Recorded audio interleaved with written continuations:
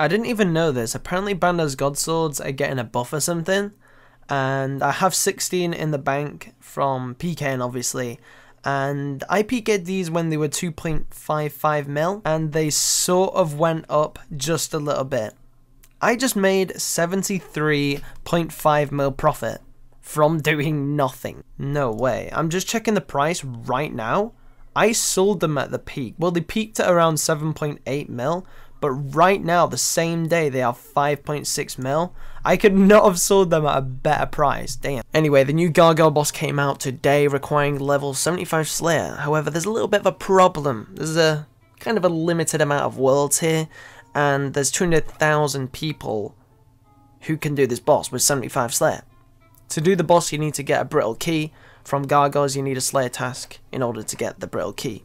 So Gargoyles are going to be packed to save the least. So if my YouTube brain, you know, thinking of creative ideas, thinking outside the box, instead of just doing the boss. Why don't we go in a PvP world at Gargoyles? Because all the worlds are going to be completely full, and I was correct. So, I went PKing at Gargoyles. There was plenty of other PKs as well. I got into some fights as well. And I brought the 99 Magic Skill Cape because we can spellbook swap. So, we TB, and then we go into Ancients. This guy's on normal, so I have a big, big advantage. This guy's so clueless, and he's TB'd. We've got this guy in the bag. Let's go. Nice, good fight. Good fight, bro. Nice. Oh, damn, this guy had runes for days. Get a nice price check. We just PK'd 1.4 mil. Damn. Ran out of spellbook swaps. Didn't really fancy PKing on normal spellbook. I could fight the PKs, but if I wanted to fight the PKs, I'd just go all 25 like Varrock and fight there. So, what I decided to do was to pretend to slay the gargoyles, however have a dragon claw switch. This is much more effective, as we all know, I do this all the time. You know, drop them within 10 seconds rather than trying to get them out of food for about 5 minutes to maybe get them. So this is the funnest method for me, most effective, but obviously I risk a lot. And I've got to tank all the way to Canifis, but anyway, this should be fun. Let's go! 325 XP drop. And good fight. How's he still alive? How is he still alive? Come on now. Right, ready? Watch this. This guy right here.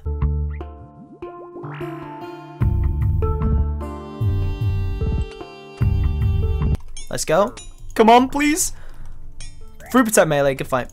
Okay, um, I need to get out of here. Right, I've been TB, that's no problem.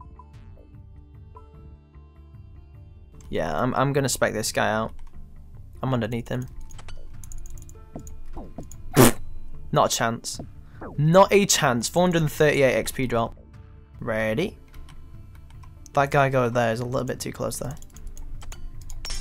Oh, yes, that XP drop. Let's go. And good fight. right, okay. This guy right here.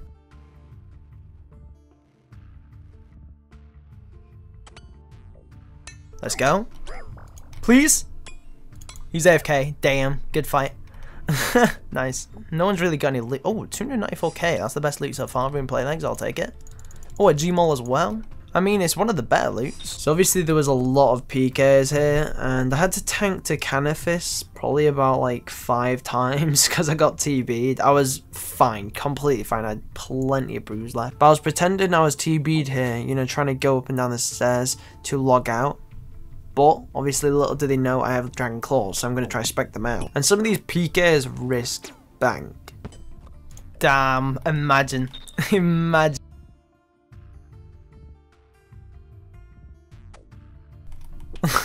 Legit, like, what? Yo, give me that. This guy's gone. Come on, combo. Come on, that should have been it. Oh, wow.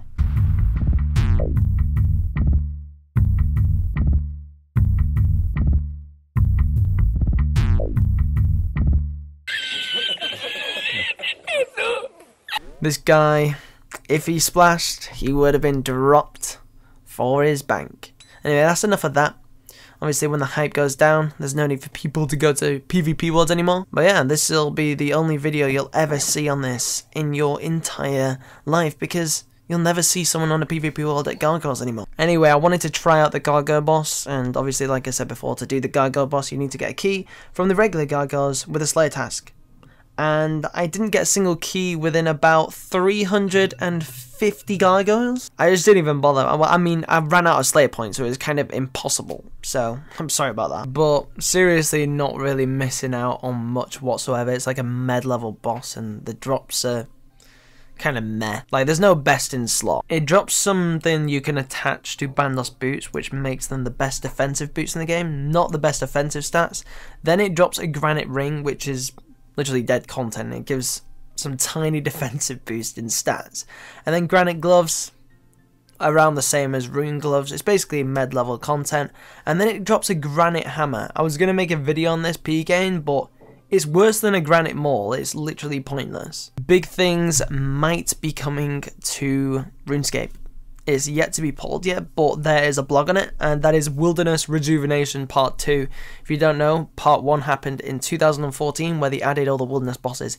Even bigger things could be coming. Obviously, PvP updates are very controversial. I don't know whether it's going to pass. Obviously, me personally, I want it to pass because obviously my whole channel is pretty much based around PvP, there is going to be a lot of content there. So obviously the point of all these updates is to bring more people to the wilderness, to make it more active, because obviously more like skillers and PVMers going to the wilderness, more PKs, so more PKs fight those PKs, it makes it more active. I mean, look at the wilderness bosses, without them, there wouldn't be many people in the wilderness. So basically, the Chaos Temple in the wilderness where you can telegrab Wine of Zamorak, so you can now train prayer there if obviously it passes.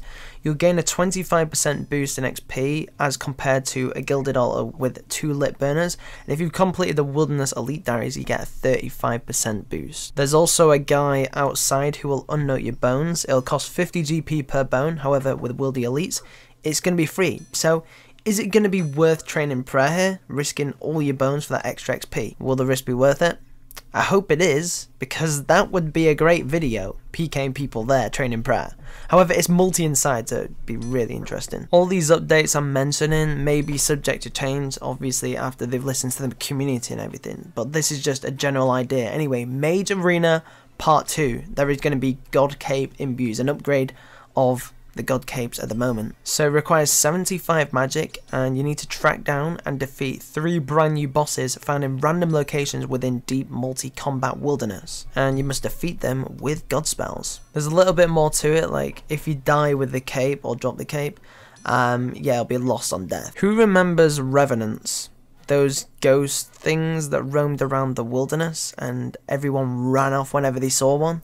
They were good times. Well, they implemented a rev cave, and this was one of my favourite things to do because basically they dropped PvP armors pre-EoC, and that's actually where I got my name from. Torva and Vesta put it together, Torvesta. Obviously not the Torva bit, but basically Vesta was a PvP armor dropped by these revenants and whenever you saw one of those drops on the floor it was the best feeling ever these were so expensive and so rare the rev caves will contain various different levels and types of monsters so like a Revenant Dragon, Hellhound, Goblin, Cyclops, and the higher level they are, the higher chance you've got of getting a rare drop. The Rev Caves are going to be a multi-combat throughout, but you can expect to find many high level shortcuts and escapes. You can also use a cannon in there. And it's also not just going to be revs inside the rev caves. There's also going to be lesser demons, green dragons, greater demons, Ankous and hellhounds.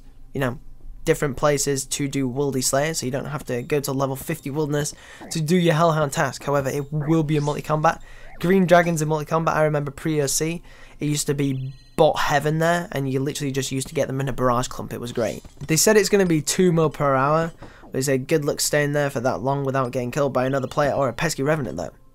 So yeah, high risk, high reward. We will see. So let's talk about what these revenants are going to drop. The Revenant bracelet is only going to be useful within the Revenant caves. This was just like the Forinthry bracelet. I remember you had to wear it, otherwise the Revenants used to wreck you. So basically, they're not aggro when you're wearing the bracelet, and also you'll be immune to their attacks, so you won't get wrecked. However, each attack they attack you with, it will drain one shard. So basically, the Revenants are going to drop Revenant shards, and they're going to be tradable. However, the Revenant bracelet would have an alch value of around 45k and it will always be dropped on death. It would drop a teleport scroll which will teleport you to the entrance of the cave. This is content, the Amulet of Peril. It increases your strength bonus based on how low your active hit points are whilst in PvP combat, not PVM, only in PvP.